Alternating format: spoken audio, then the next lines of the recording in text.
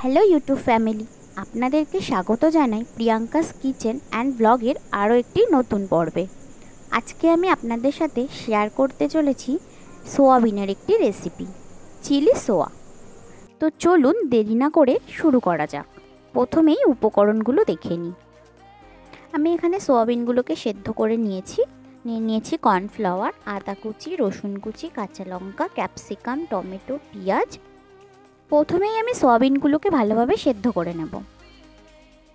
সেদ্ধ করা হয়ে গেলে সয়াবিনগুলোকে ঠান্ডা করে আমি জল, এরকমভাবে হাত দিয়ে চিপে চিপে জলগুলো বার করে নেব।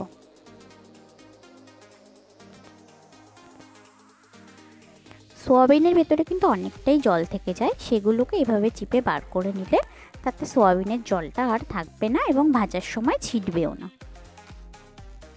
ভালো করে চিপে জলগুলো বের করে নেওয়ার পর এরপর আমি এর ওপরে দিয়ে দেব সামান্য লবণ। দিয়ে দেব কিছুটা পরিমাণ গোলমরিচ গুঁড়ো।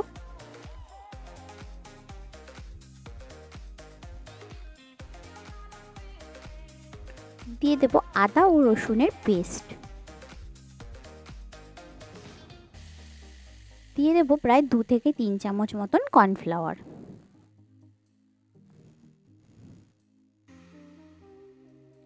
একটু চামচ দিয়ে ভালো করে মিশিয়ে নেব।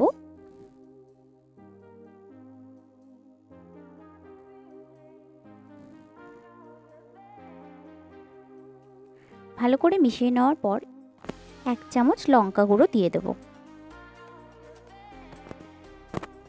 এবার ভালো করে মিশিয়ে নিয়ে আমি দশ মিনিট মতন রেখে দেব। এবারে কড়াইতে তেল দিয়ে আমি তেলটিকে ভালো করে গরম করে নেব। একটু বেশি পরিমাণে তেল দিয়েছি যাতে এগুলো সবকটি আমি একবারে ভাজতে পারি। এবার সবকটা সোয়াবিনকে আমি একে একের মধ্যে দিয়ে দেব। একটু ছাড়া ছাড়া করে দেব তাতে সোয়াবিনের কোটগুলো খুলে যাবে না। সবকটি সোয়াবিন দিয়ে আমি একটু হালকাভাবে সোয়াবিনগুলোকে ভেজে নেব।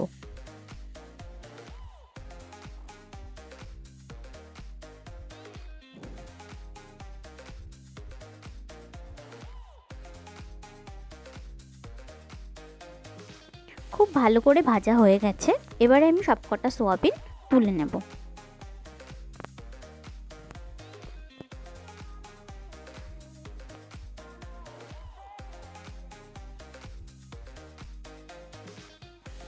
এবারে আমি কিছুটা তেল তুলে রেখে ওই তেলেই দিয়ে দেব রসুন কুচি।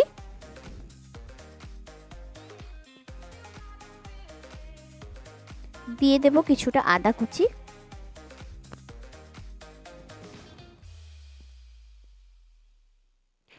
ভালো করে ভেজে নেব।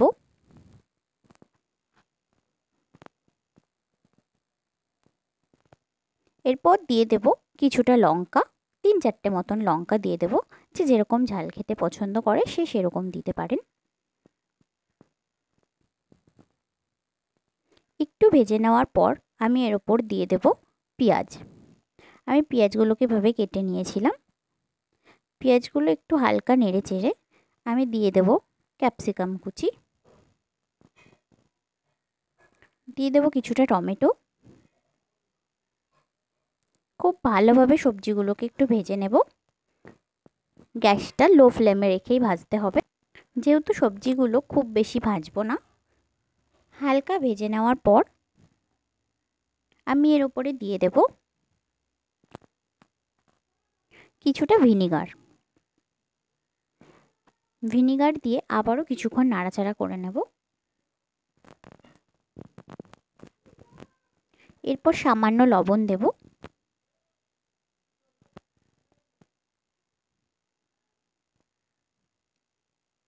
একটু ভেজে নিয়ে এর ওপরে দিয়ে দেব কিছুটা আদা ও রসুনের পেস্ট। একটু লাল করে ভেজে নেব।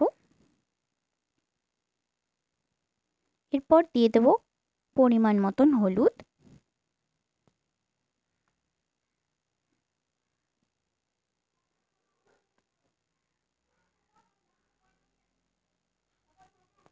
খুব ভালোভাবে ভাজা হয়ে গেলে আমি এর উপরে দিয়ে দেব দু টেবিল স্পুন মতন টমেটো সস।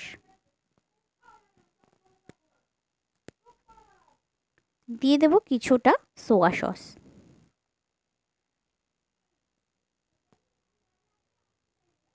খুব ভালোভাবে সবজির সাথে আমি সসগুলোকে মিশিয়ে নেব। ভালো করে মিশিয়ে নেওয়ার পর এর ওপরে আমি ভেজে রাখা সোয়াবিনগুলো দিয়ে দেব। সোয়াবিনগুলো সবজির সাথে ভালোভাবে মিশিয়ে নেব। মোটামুটি তিন থেকে চার মিনিট মতন ভালোভাবে কষিয়ে নেব। কষিয়ে নেওয়ার পর আমি এর উপরে দিয়ে দেব কিছুটা পরিমাণ জল গ্রেভি হওয়ার জন্য। জল দিয়ে একটু নাড়াচাড়া করে নিয়ে আমি ঢাকা দিয়ে দশ মিনিট কুক করে নেব। দশ মিনিট কুক করে নেওয়ার পর আমি ঢাকনা তুলে হালকা নাড়াচাড়া করে নিলেই রেডি সোয়া চিলি। এবারে এটিকে আমি একটি প্লেটে সার্ভ করে নেব।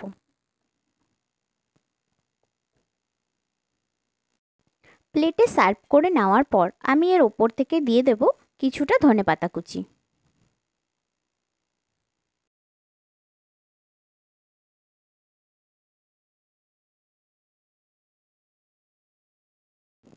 আজকের এই অল্প উপকরণ ও অল্প সময়ের সোয়া চিলি রেসিপিটি অবশ্যই একবার বাড়িতে ট্রাই করে দেখবেন ও কমেন্টে জানাবেন এই রেসিপিটি আপনাদের কেমন লাগল। আজকের ভিডিওটি যদি ভালো লেগে থাকে, তাহলে লাইক, শেয়ার অ্যান্ড সাবস্ক্রাইব করে পাশে থাকবেন পরবর্তী ভিডিও পাওয়ার জন্য।